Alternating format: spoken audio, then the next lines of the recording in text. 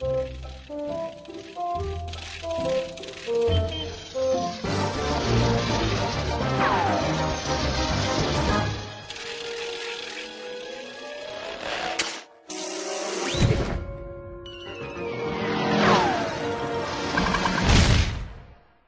shit. I did it. He's under there. I got him. I fucking got him. Jesus, I'm gonna need a shovel. Mm. Oh, this is delicious. I, I mean, you know, it's like when you work for your meal, when you really work for it, it just tastes that much better, you know? So, what are you gonna do now? Huh. Never really thought about it.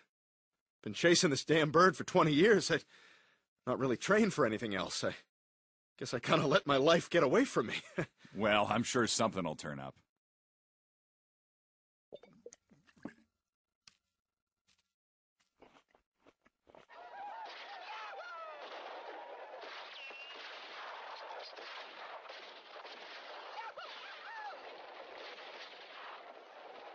Okay, uh, that's a pastrami on rye, uh, pasta salad, uh, two Diet Cokes. No, no, no. It was one Coke and one Diet Coke. Oh, God, I'm sorry. Well, we've been waiting an hour. I know, I'm sorry. What the hell kind of place is I'm it? sorry! I, God damn it, I'm sorry! All right? I'm just having some fucking identity issues right now, and I, I can't think straight, and I, I just get off my back, because you don't know what it's like! Wiley, you're fired.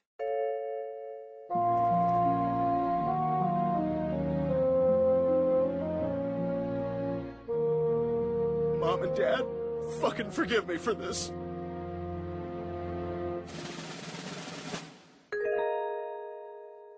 And then, all of a sudden, it hit me. I knew who I wanted to be.